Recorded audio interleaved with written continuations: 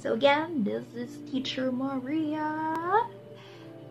I know we all love cats. All I need to know, I learned from my cat by Suzy Becker. Keep your nails trimmed. Note, while the public generally appreciate good grooming, they do not generally appreciate it in public. And your hair clean. Mine is only paper. Be curious.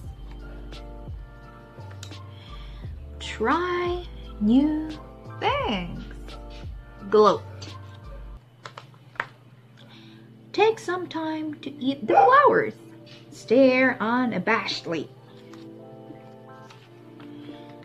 Have a sneeze, that's the envy of others. Challenge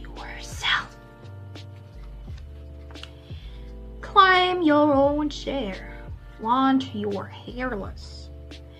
Take pride in your whiskers. Don't pluck your eyebrows. Make the word your playground. Recognize the toy in everything.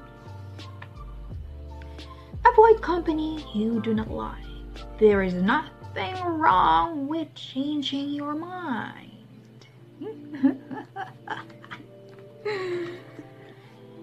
Defend on others without losing your independence. Enjoy your company. Scratch when it itches. Don't trill. Get used to silences. Jump right into the middle of things just because you're home. You don't have to answer the phone. Thank you.